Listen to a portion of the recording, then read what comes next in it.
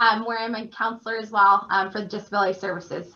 Um, Great. So I'm going to go ahead and share my screen and uh, we'll go ahead and get started. We're just going to share a little bit about our C2C program here at West LA College. So our program is actually a partnership, a collaboration between Department of Rehabilitation and the California Community College Chancellor's Office. Um, West LA College is uh, in its seventh year. This fall began our seventh year, um, where we are one of eight colleges who hosts and has a C2C or college to career program on its campus. And the college to career programs actually began 10 years ago um, as a pilot project. And the project included a total of five campuses. So I'm going to actually share that as well.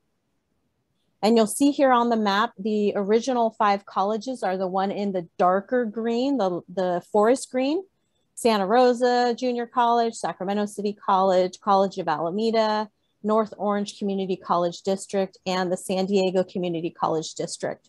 And those five campuses were in a pilot project.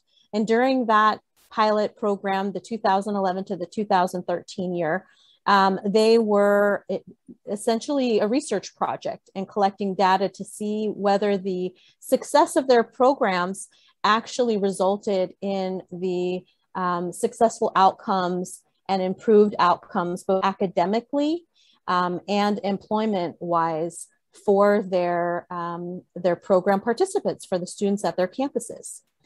Um, spoiler alert, the results were quite successful. And so not only were those five campuses issued a contract renewal, um, but the federal government actually issued the Department of Rehabilitation additional funding in order for DOR and the state uh, chancellor's office to be able to award three additional community colleges uh, with the opportunity to start a college to career program on their campus. Um, many community colleges applied from all over the state. We have 115 community colleges in total, so you can imagine how many applied. Um, three were given the opportunity to submit forward a contract, and West LA College was one of those three. The other two were Shasta College and Fresno College. Um, so our three campuses were kind of the newer colleges, the babies, if you will, um, at that time. And we also had the opportunity to really learn from our sister campuses, um, you know, what went well, what their challenges were, so that we didn't have to repeat any sort of bumps along the road that maybe they hit. Um, and also allow ourselves to consider the unique differences in our geographic area based on our demographics. Because as you can see from where all the campuses are located, clearly they're in very different areas of the state and they do offer very different programs um, and the diversity can vary as well with regards to the student population. So all of that we do take into account. Um, but all eight campuses do really work in partnership as a collaborative team where the coordinators meet monthly, the job developers meet nearly monthly, the education coaches meet quarterly, sometimes more frequently. Um, and we really try to streamline our programs um, in order to provide the best services that we can to students in the programs. This is what we like to call our pyramid to success.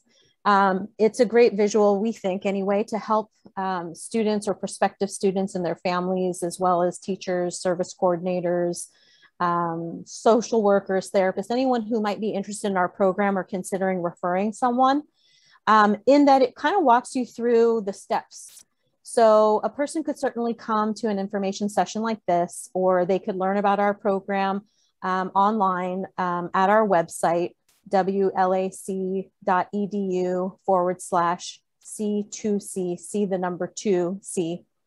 Um, so either way is fine. Sometimes we get formal referrals, you know, sometimes we get people calling in from um, informally and that sort of thing.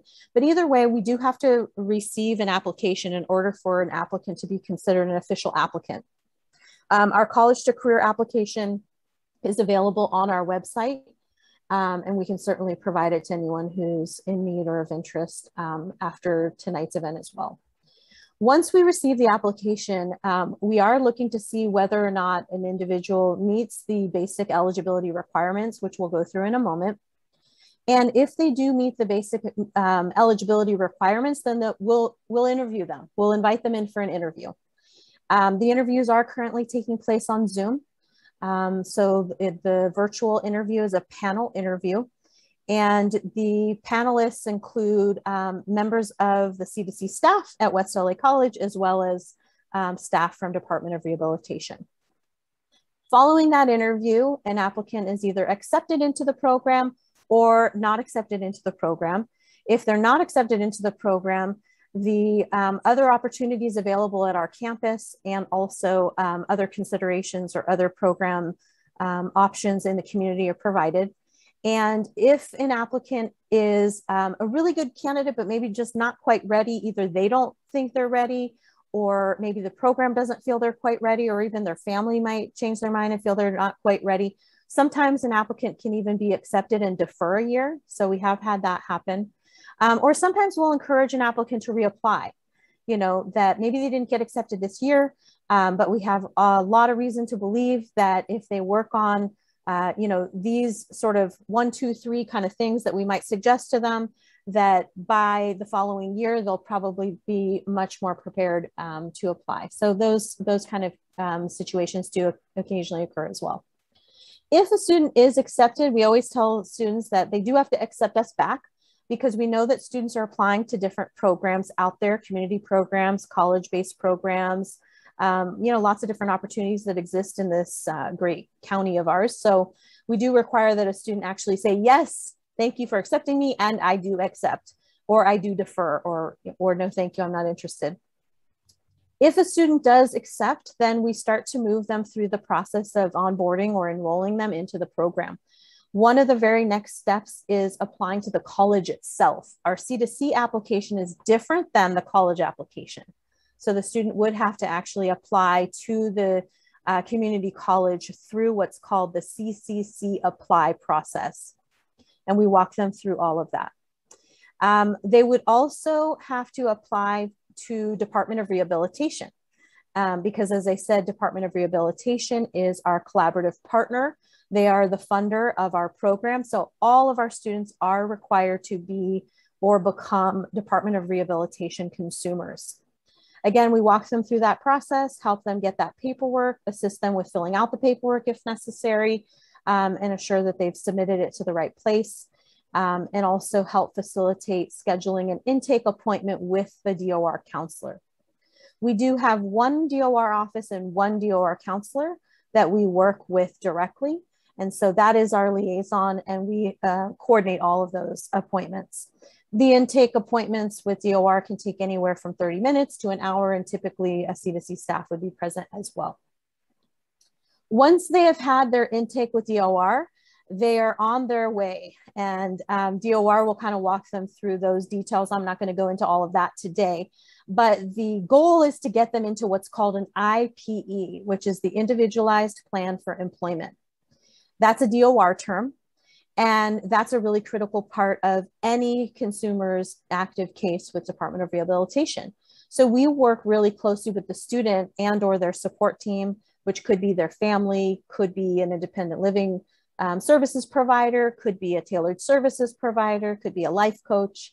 Um, but we work really closely with the student at the center to develop that employment goal and to have that employment goal be consistent with that student's interests, their um, academic interests, their employment interests, um, really aligning those two things that they maybe are already skilled in, or maybe areas where they've expressed interest in the past, or even had an internship or volunteer experience in the past, maybe even in high school or through their church, their synagogue, their um, local neighborhood.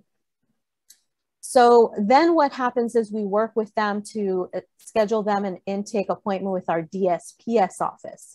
So it's a lot of paperwork up front. We always forewarn students and their families of that because we certainly don't want anyone to get overwhelmed, but a lot of paperwork can understandably be overwhelming.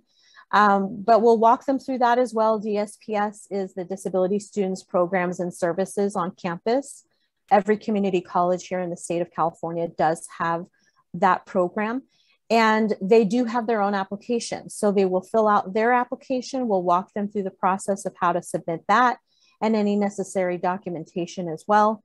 And then they will have an intake appointment with the DSPS staff, typically the counselor. When they meet with the DSPS counselor, they will schedule their or they will create their educational plan. And it's so early on, a lot of times students will, will change their educational goal, or maybe they're not really sure what that is. Similarly with the IPE with DOR, the employment goal. But we always explain to students, we do have to have an education goal. We do have to have an employment goal. We do want the two to align. And we do understand that those things can change and often will change over time. One of the things that's really unique about our C2C program is that the students can have both.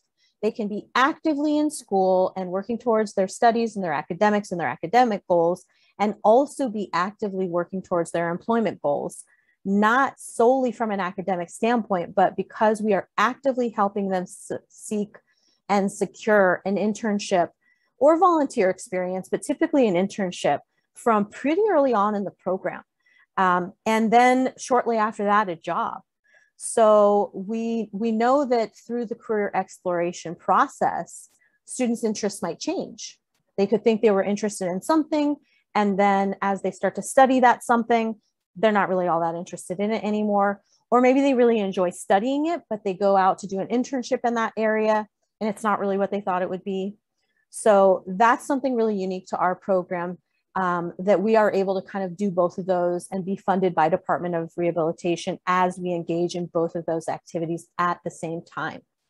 You'll see in the next um, section here of the pyramid, it says accomplish educational goals. That's a wide range of, uh, you know, a very short to long period that it could take. We could have a student accomplish their educational goals in a semester or two. We could have a student completing their educational goals in three years, um, or they might even be continuing to complete their education goals even after they've left our program. So that's really individualized and really varies by student and also depending on what the educational goals are. There's also short-term and long-term educational goals. So sometimes students will work on non-credit certificates, maybe even a credit certificate, and they might even complete what we call a sequencing of stackable certificates. So maybe by the time they graduate from our program, they've actually completed like four or five certificates. But maybe they've been doing so well academically that they decide, well, I've completed the C2C program, but actually I'm going to stay at West LA College for another semester or maybe even another year because now I'm working on my AA degree. Um, so sometimes we see that and that's absolutely okay. That might be more of a long term goal, however, because the C2C program is a maximum of three years. And sometimes our students need a little more time than that if they're working towards an AA degree. The next rung up, you'll see vocational preparation. And that's the area within which we focus on helping get students job ready, employment ready, really helping them learn about the labor market, um, the various jobs and careers that are out there and that are directly related to certain kinds of studies at the college and or certain majors, um, what those might be called out in the field. And um, so that can include anything from taking a job readiness class to attending a regular job group with our job developer, to having one-on-one meetings with any of our staff, or um, creating a, a master application um, putting together a resume, all of those sort of things are what we would describe as vocational preparation. And then of course, the, the last, the tippy top of our pyramid is a job because we are an employment program. It is the focus and the core of our program and everything that we do. Um, it is part of um, how and why we are funded by Department of Rehabilitation because they are a vocational program um, so ultimately, all of our students who complete the program successfully have completed it successfully because they have landed a job and retained that job. Um, earlier, I mentioned eligibility requirements. So this is a, sort of a brief snapshot of what eligibility looks like.